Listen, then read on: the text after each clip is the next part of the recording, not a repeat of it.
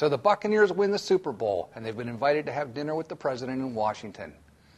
How do they get there? I'm Chris Cook with Security Awareness Incorporated, and let's talk about using Yahoo Maps. First, Yahoo Maps can be gotten to two different ways. You can go and type yahoomaps.com or maps.yahoo.com.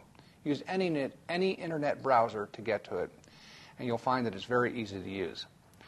It's going to ask you for an origin address, your, your starting out point, and it's going to ask you where you want to go.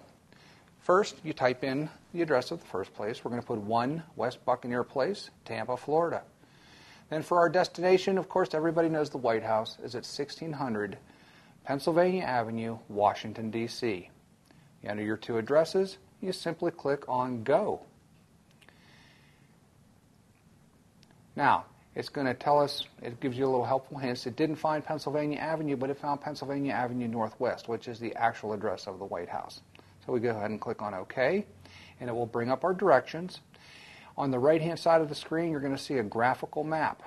It takes us from the starting point and puts it up to the ending point in Washington. And on the left, it's going to actually give us turn by turn directions on how to get there. So, next time you need to get somewhere and you're not sure how to do it, try Yahoo Maps. It's pretty easy to use. I'm Chris Cook with Security Awareness Incorporated.